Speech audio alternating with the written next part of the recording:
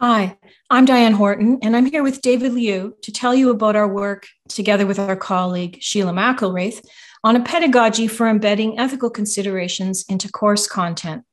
We'll talk about our experience doing this in computer science courses, but the approach is relevant across disciplines. So, why did we embed ethics into computer science courses? Technology is shaping the way people live, work, and interact with each other, and it is mediating what we know about each other and the world around us. Graduates of our program increasingly find themselves designing algorithms and using data that raise ethical issues they may not be aware of or equipped to address. Courses that contemplate the role of technology in society have been a standard but often optional part of curricula for years. And an emerging alternative is to embed ethical uh, discussions as modules within computer science courses. This approach offers the opportunity to tie ethical issues to technical content at the moment students learn it, and to have students engage with these issues repeatedly throughout their degree. The Embedded Ethics Education Initiative is a project at the University of Toronto within the Department of Computer Science in association with the Schwartz Reisman Institute for Technology and Society. Our objective is to develop and evaluate methods for endowing and empowering the next generation of scientists, educators, and technology developers with the knowledge, the skills, and incentive to incorporate ethical considerations in the study of computer science and as a design principle in the development of computer science technology throughout their careers.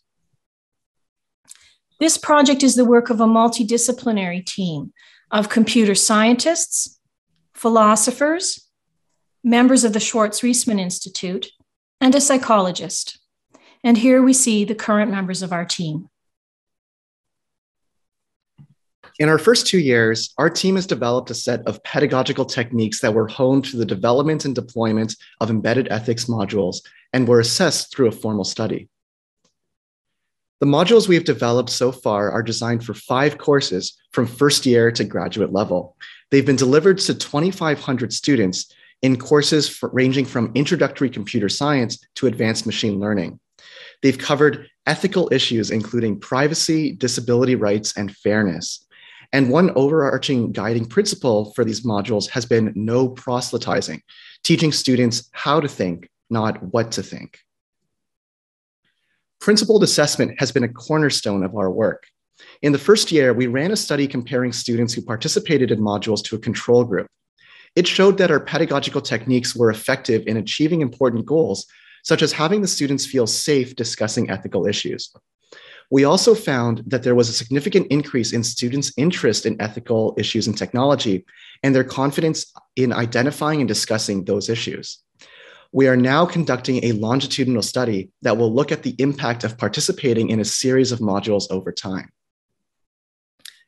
In our teaching and learning symposium talk, we'll describe the pedagogical strategies we employed and the goals they served.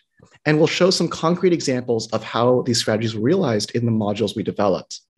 Although our modules have been developed for computer science courses, we believe our approach is relevant to embedding ethical discussions in any discipline.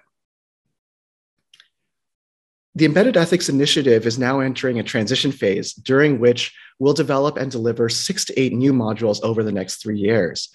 Our goal is for every computer science student to see at least one embedded ethics module per year for all four years of their degree, with a total annual enrollment in the embedded ethics courses between 4,500 and 5,000 students. And working with colleagues in the Department of Philosophy, we'll also explore how to connect with and support those colleagues in other disciplines who are interested in adopting our embedded ethics approach. We're so proud of this work and the impact it is having on our students.